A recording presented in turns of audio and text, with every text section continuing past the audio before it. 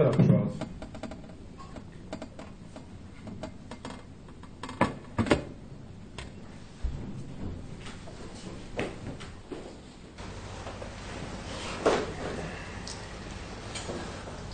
Okay, guys. I have two headaches Brazil and Turkey. Where do we start? Sir, the news coming from Turkey is worse. They are furthering their democracy and expanding their economy. The entire world is watching and envy. A new shopping mall is being built every day. At least they don't have an advanced democracy. Intel seems pretty solid on that. Sir, they already have the most advanced democracy there is. And it's fiercely guarded by the police. Democracy? What about human rights violations? Freedom of speech? You know we make those facts up, right? But sir, they've already jailed more journalists than any other country in the world. That's why the rest of them do their job better.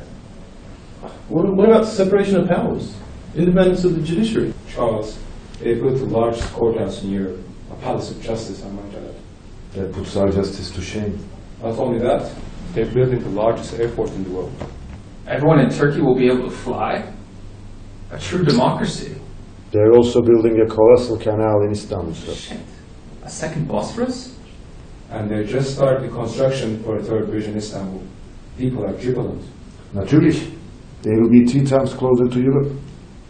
Two Bosporuses, three bridges, and three airports in a single city. My god, this will be the end of us. We need to stop this.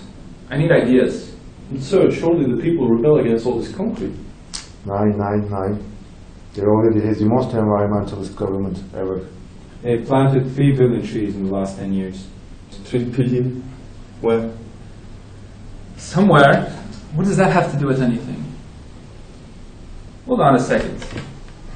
Maybe we could make the people believe that the government is damaging the environment.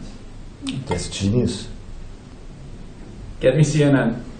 Muslim paid them for Syria, sir. No, not the Turkish one. Get me CNN International. By the way, sir,